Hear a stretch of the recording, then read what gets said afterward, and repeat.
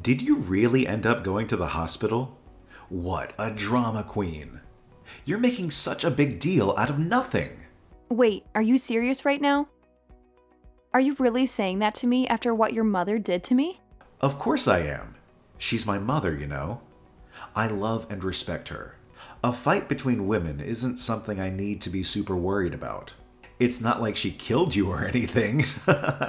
You say that, but she cut my mouth and there's a lot of blood. You don't suddenly punch people like that. We only came to visit her. And yet, this is what happened. How can you be so calm and sensitive? I told you, my mom is a bit possessive of me. She might say some foul things.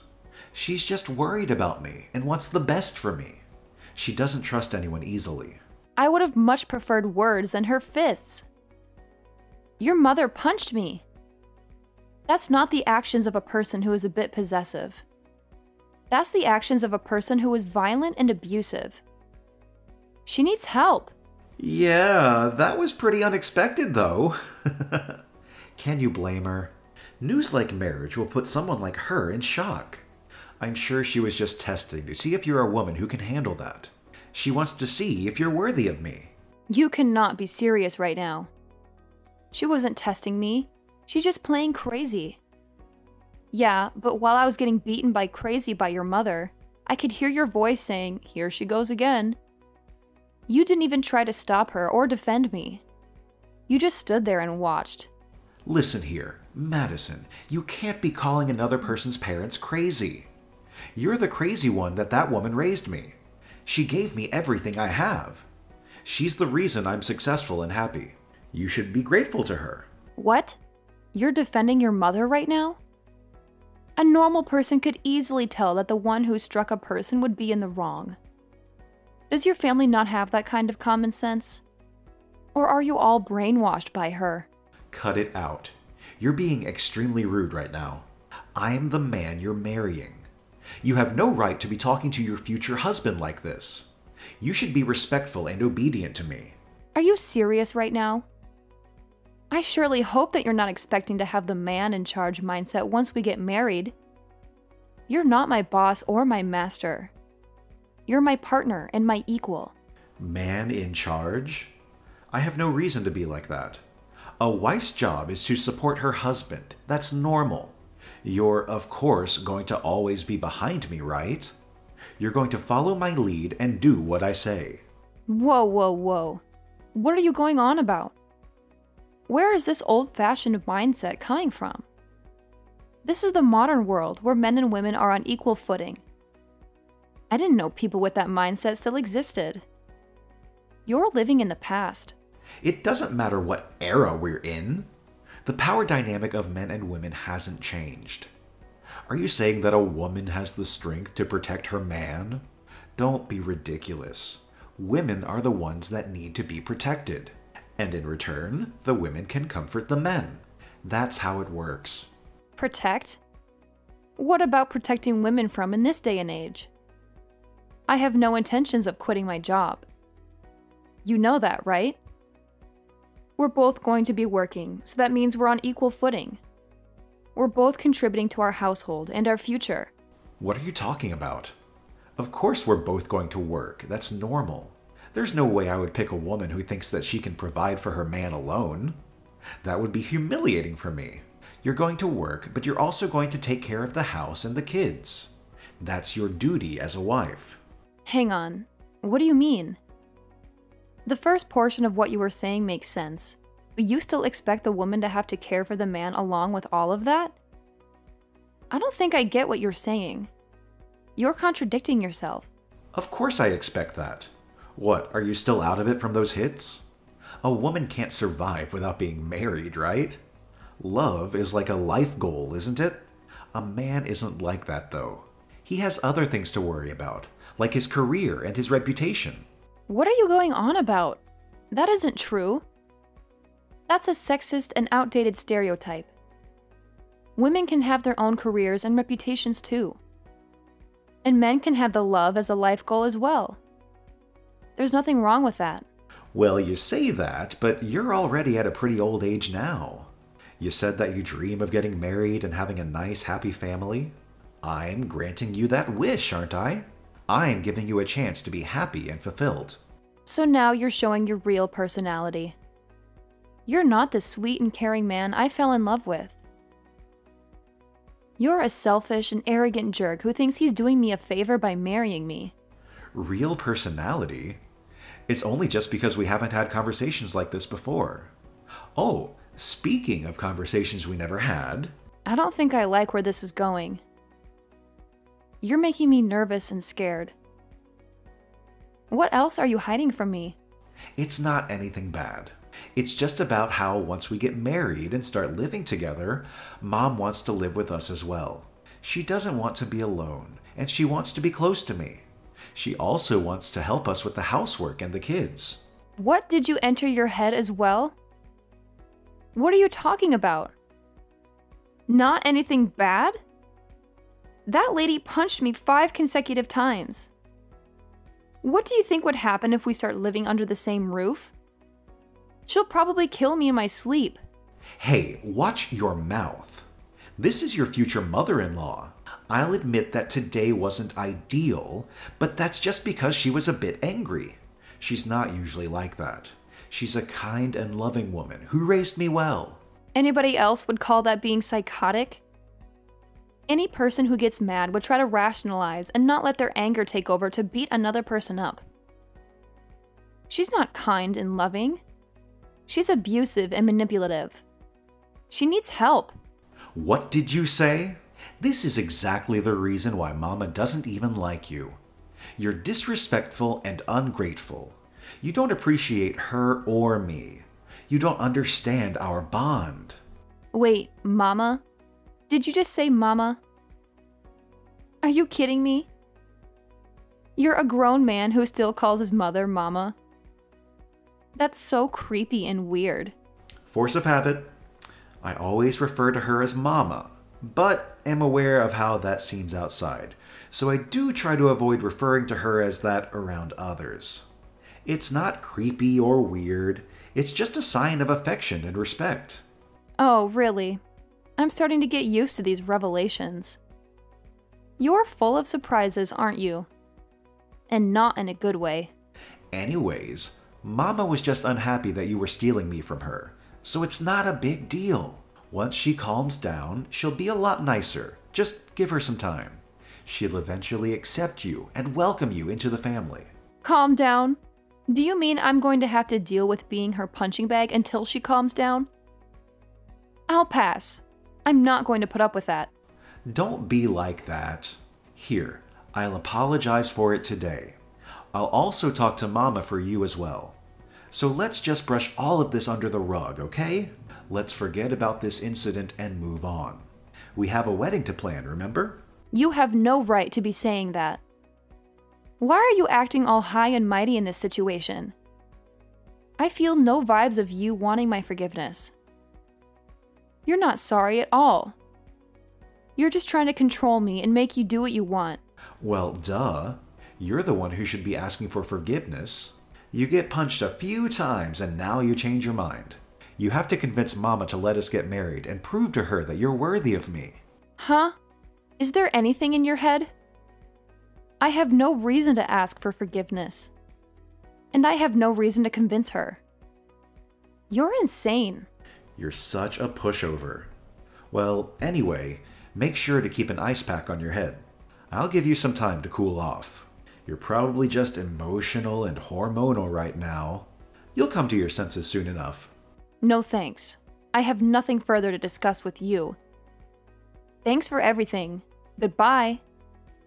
And don't ever contact me again. You're the worst thing that ever happened to me. You're a nightmare.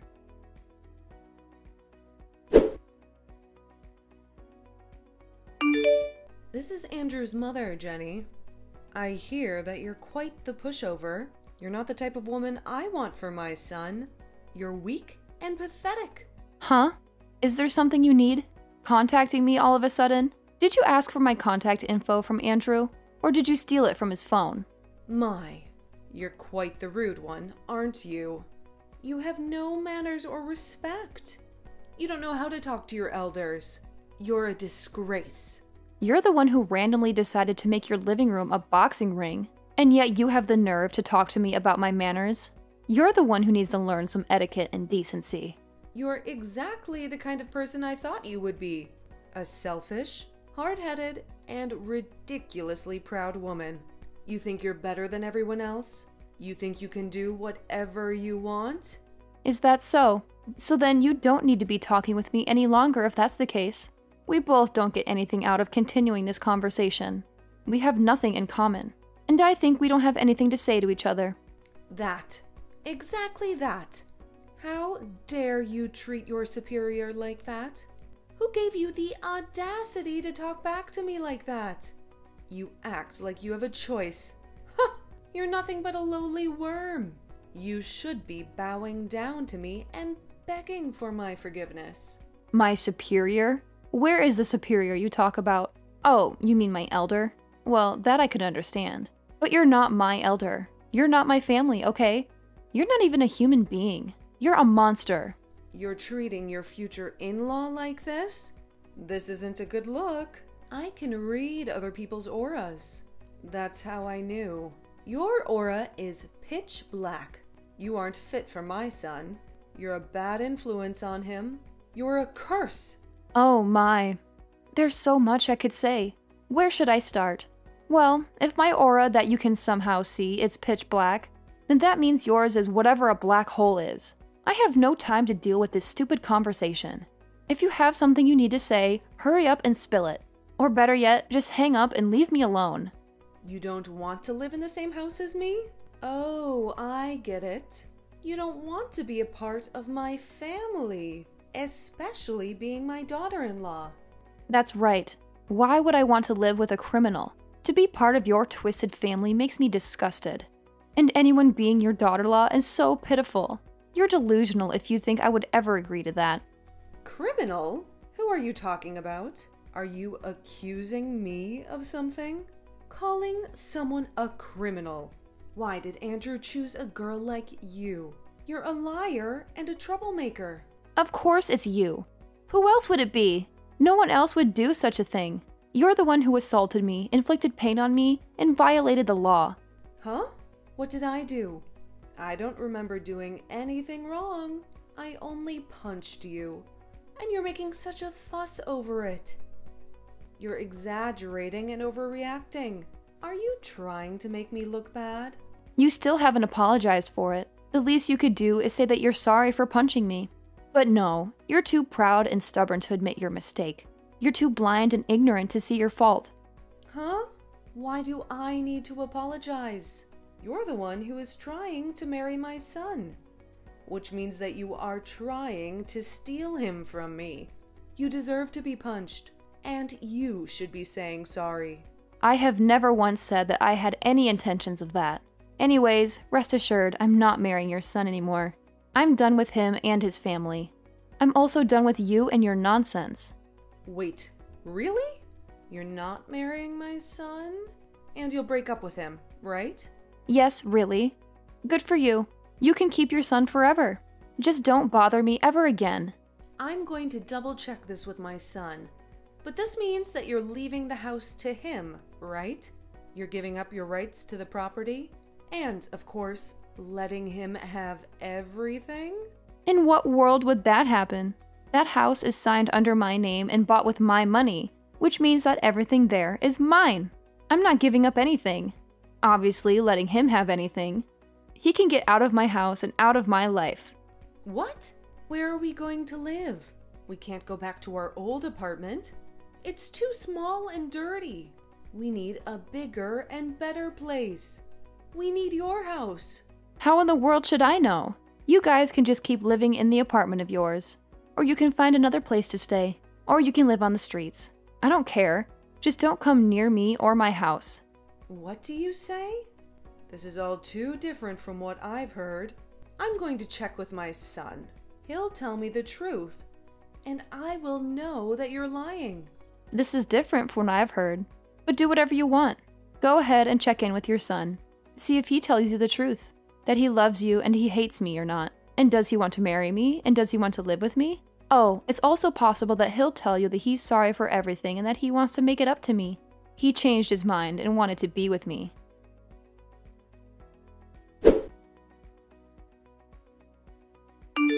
Hey, pick up your phone. I heard from mom. She said she's sorry for what happened. Just stop being so petty and stubborn. You can't cancel our engagement over something so minor. We've been together for three years, for God's sake. I'm not the petty or stubborn one in this conversation. You are. You're the one who can't see how wrong this is. You can't stand up to your mother. You didn't respect me or my feelings. So don't bother calling me again. I think I made it clear that we were through when I threw your ring at your face. What are you talking about? It's just a tiny spat between partners. It happens all the time. It doesn't mean we have to throw the entire relationship away for something like that. We're in the process of getting our marriage license. We're supposed to be happy and excited. I canceled that. I'm not going through with this sham of a marriage. I'm not spending my life with a criminal and her son. Yes, your mother is a criminal. She assaulted me. She punched me in the face. She gave me a black eye. And you did nothing to stop her. You did nothing to defend me. You didn't show me that you care. I heard about the whole criminal thing as well. Mama just punched you. That's it. It was a heat of the moment thing. She didn't mean to hurt you. She was just angry and frustrated. There's no reason for you to be calling her a criminal over something like that. She's not a bad person. She's my mother. She loves me, and she loves you too, deep down. You're so delusional and pathetic. You and your mother are both messed up in the head. You have a sick and twisted relationship. You're more loyal to her than to me. You're always more afraid of her than of losing me. And all you are concerned about her feelings, not about mine. You're just jealous and insecure. You're mad over the fact that Mama didn't approve of our marriage. Well, good news. She calmed down and gave her approval. She said she's willing to accept you as her daughter in law. She's willing to give us her blessing and let us be happy. Isn't that what you wanted? Why would I be happy over this? Do you think I want her approval and her blessing? And why would I want to be her daughter in law? Answer me. Who would marry someone like you? If I become part of your family, I'll have to deal with your mother for the rest of my life. Ugh, thinking about that makes me crazy. I already said this. I canceled the marriage license and I'm filing a report of your mother. I'm pressing charges against her. I'm definitely taking her to court. She has to pay for what she did to me. What? You're joking, right? You're not going to do that. You can't do that. I mean, we're trying to buy a house. We prepare to start a new life together. You can't ruin everything over a stupid fight. We're? We're trying to buy a house and start a new life together? Don't make me laugh. You're not trying to do anything. You're just leeching off me. I'm the one who is paying for the house. I used my money to buy the house and said that I would allow you to live there with me. I have to work hard to start a new life. It's just me saving up for our future. What are you doing? What we planned on, though, right? Just because you fought with mom doesn't mean that you need to be doing all this. You had a bad day doesn't mean that you need to be throwing everything away. You're angry doesn't mean that you need to be hurting me like this. You're so selfish. You just want to be pampered and coddled and catered to. The moment we agreed on getting married, you decided to show off your borderline incestuous relationship with your mother and expect everything to be okay. You let her interfere with our lives and expect me to be okay with it. You choose her over me and expect me to be okay with it. You're just a bum. A bum?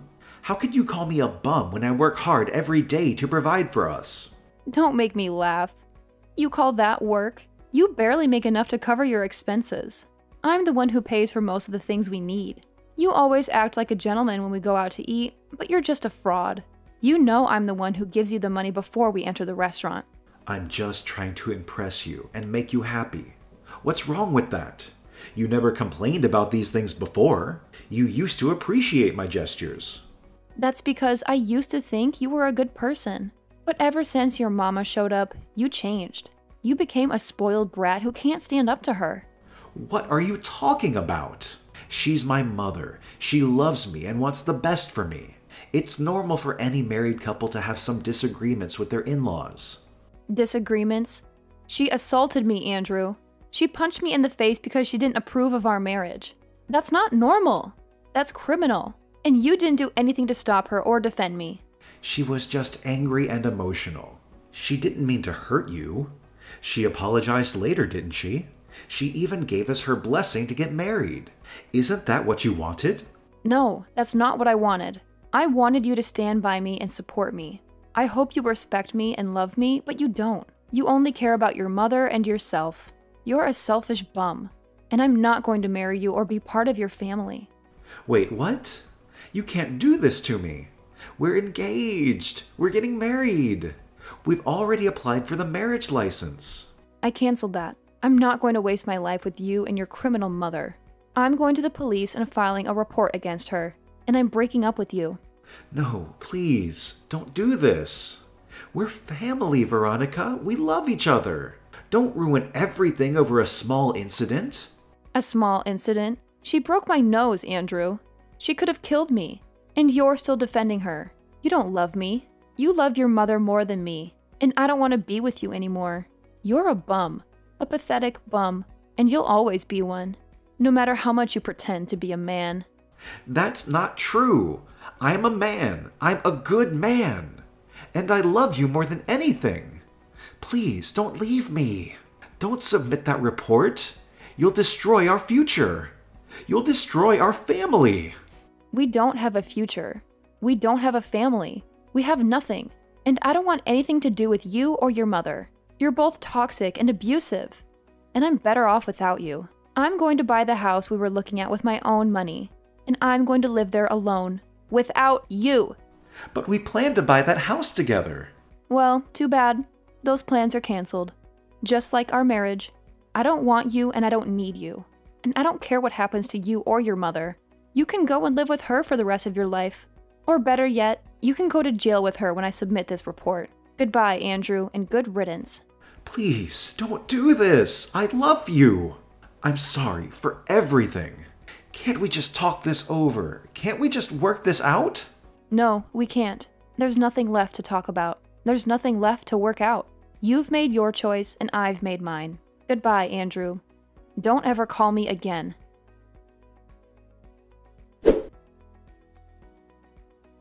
After a long struggle, I gathered the courage to submit the report on Jenny, and she faced the consequences of her actions.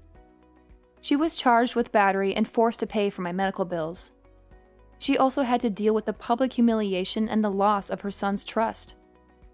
The two of them plunged into despair and regret, realizing that they had ruined their lives. As for me, I found a new purpose in life. I became a writer and decided to make a novel loosely based on the events that happened. My book caused a huge sensation in the media.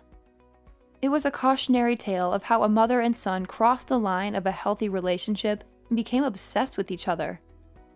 They displayed a twisted love that destroyed everything in its path, including themselves and the people around them. My book was a warning to anyone who might fall into the same trap.